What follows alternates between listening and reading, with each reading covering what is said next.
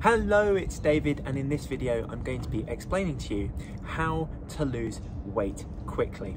Now, before we begin, if you give this video a thumbs up, I would very much appreciate it. But without any further ado, let's dive right into today's topic. Now, how to lose weight. You already know how to do this, and that is to burn off more calories than you put in. That's right, fat burned equals calories out minus calories in. The more calories you burn, the more and the greater the caloric deficit that you create, the more fat that you are going to burn off. However, most people jump to the conclusion that, you know, if I absolutely starve myself and uh, yeah, create as big a deficit as I can and try and maintain it for as long as I can, then that is going to result in the most weight lost and I'm going to get things done in the quickest way possible. However, that is not entirely true. You see, because if you withhold too many calories, then that puts your body into starvation mode. There is a starvation response where your body then says, hey, I'm not getting all that much energy, so therefore, how about we tone down the level of energy that I burn off in order to save, save that save that energy, save those calories uh, to try and sustain myself over the long run. Now, as a result, you end up feeling lethargic and terrible, and uh, yeah, you end up not losing all that much weight.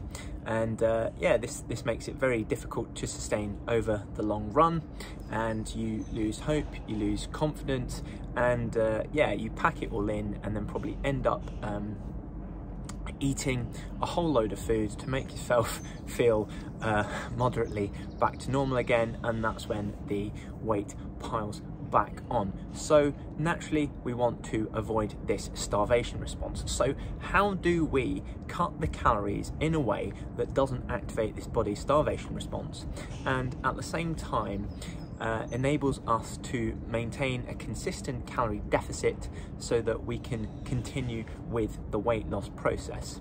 Now, a figure that I think is the best is uh, to take off 10% of your total daily energy expenditure.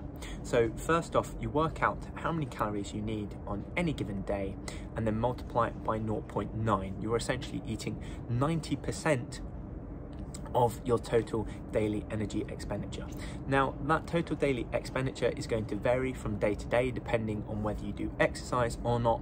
So therefore, it's best to have an idea of what that value is on a rest day and then similarly again what that value is on any day that you exercise and then plan to get within 10% of that.